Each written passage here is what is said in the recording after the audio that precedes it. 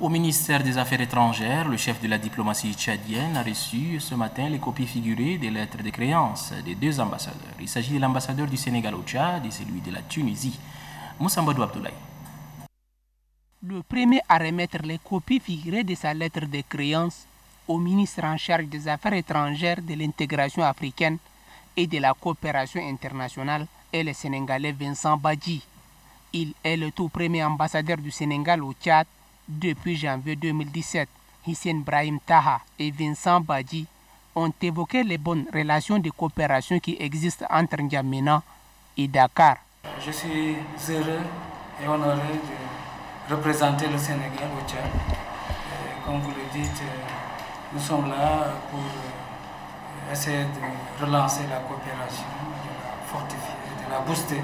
Nous avons été envoyés euh, pour faire en sorte qu'elle se raffermisse davantage.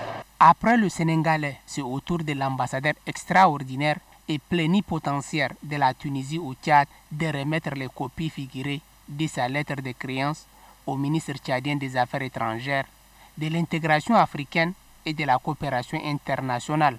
Jalel Sanoussi, le tout nouvel ambassadeur de la Tunisie au Tchad, entend jouer pleinement son rôle en privilégiant la coopération basée sur l'intérêt des deux pays frères et amis. Les relations entre la Tunisie et le Tchad, ce sont des relations historiques, traditionnelles.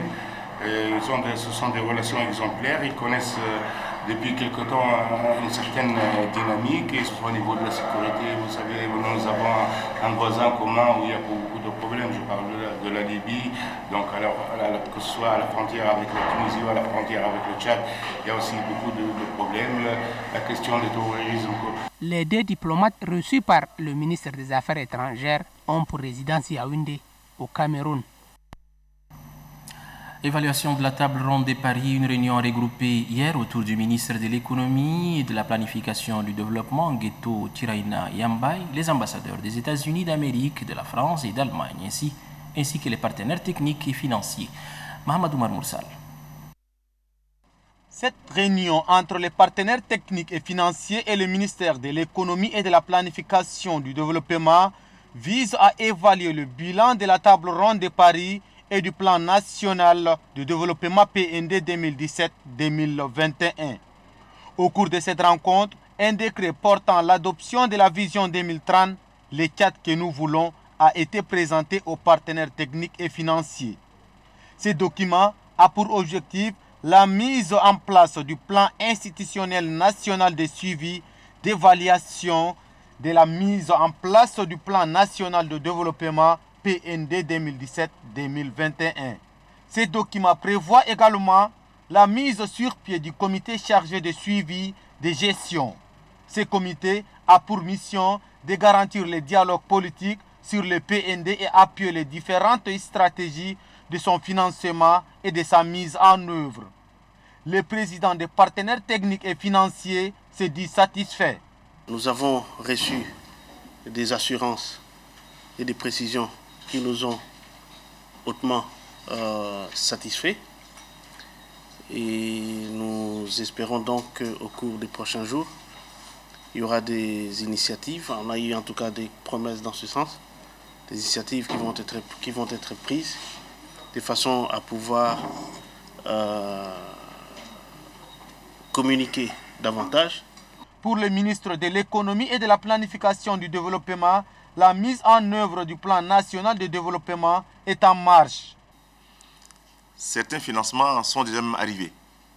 Mais sachez que ce n'est pas de l'aide budgétaire. C'est un financement d'abord par projet. Même s'il y a une dimension d'aide budgétaire, la plus importante part du financement du plan national de développement, c'est le financement par projet. Nous distinguons trois types de financement.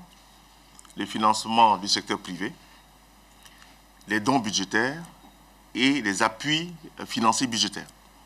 Quant au financement des dispositifs institutionnels de suivi et d'évaluation, il est assuré par le budget de l'État et les appuis des partenaires techniques et financiers.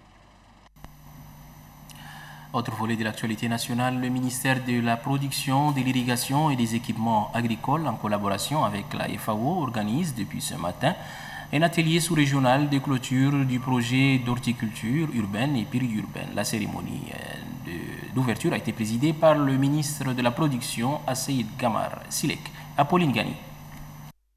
Le projet sous-régional d'horticulture urbaine et périurbaine est mis en œuvre pour améliorer, accroître et diversifier la disponibilité de la nourriture pour les populations et développer les chaînes des produits agricoles afin de gérer les revenus.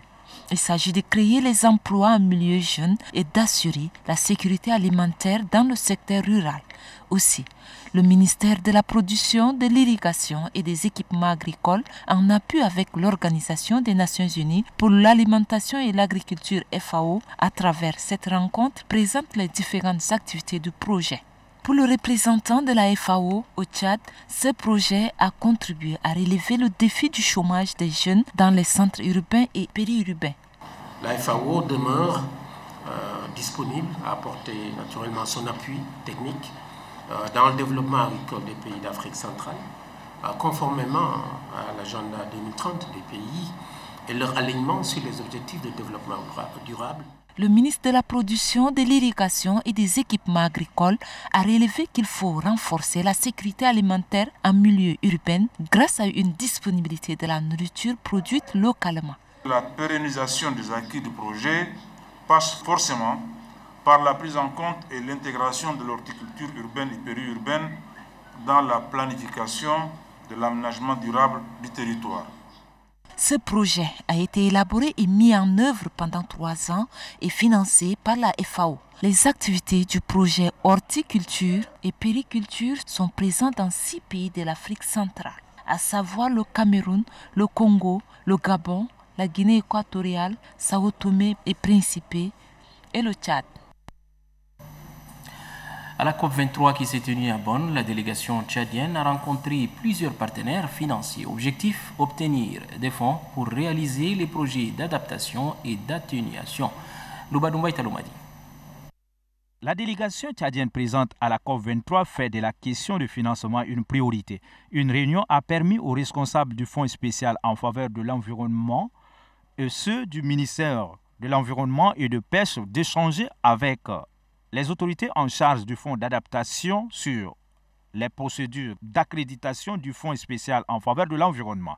Pendant deux heures d'horloge, la question d'accréditation a fait couler tant d'encre et de salive. Mais du côté des autorités tchadiennes en charge du Fonds spécial en faveur de l'environnement pour lutter efficacement contre les effets du changement climatique, il faut un mécanisme de financement dont l'accréditation de FSE reste un moyen important pour attirer les investissements et financer les projets d'adaptation et d'atténuation.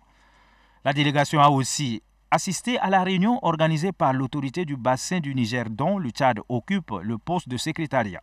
La délégation a participé à plusieurs réunions dont elle a saisi l'opportunité pour inscrire la poussière baudelée parmi les ressources naturelles à protéger et valoriser.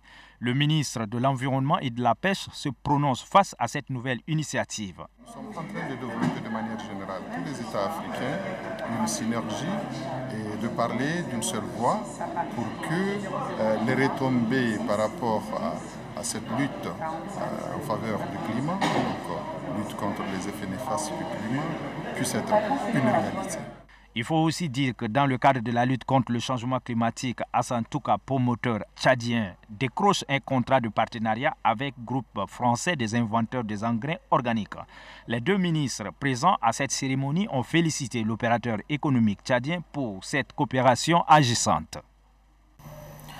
Khartoum a abrité la semaine dernière une rencontre du Parlement panafricain des jeunes. Le rôle des jeunes africains dans la promotion de la démocratie africaine et les valeurs de l'Union africaine était au menu des échanges. Nous retrouvons une fois de plus Ahmad Abbas. Placé sous le thème Améliorer le rôle des jeunes parlementaires dans la promotion des valeurs partagées de l'Union africaine, la rencontre de Khartoum, la capitale soudanaise, est une réponse aux besoins exprimés par la jeunesse vis-à-vis de l'organisation continentale. Entre autres, la base juridique à la reconnaissance de la jeunesse comme un acteur et partenaire incontournable pour la réalisation d'une Afrique paisible, le respect de la démocratie, de la bonne gouvernance ou encore l'état des droits et des droits humains. Les assises de Khartoum sont placées sous la présidence du ministre soudanais de la Culture et de la Jeunesse, représentant le président soudanais Omar Hassan Ahmed el-Béchir. Le représentant du président soudanais a salué la tenue de cette rencontre de jeunes du Parlement panafricain qui, selon lui, vient de traduire dans les faits les orientations données par le dirigeant africain en faveur de la jeunesse lors de la précédente sommet de l'Union africaine.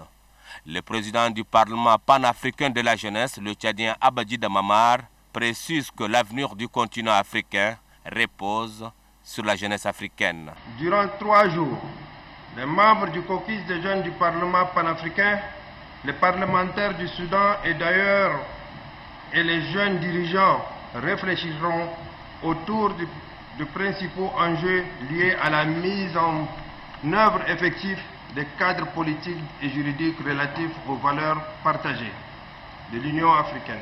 Les jeunes africains réunis ici à Khartoum ont à saluer aussi le partenariat avec l'Union africaine et l'Institut des études de sécurité dont le concours a abouti à la tenue de la présente rencontre.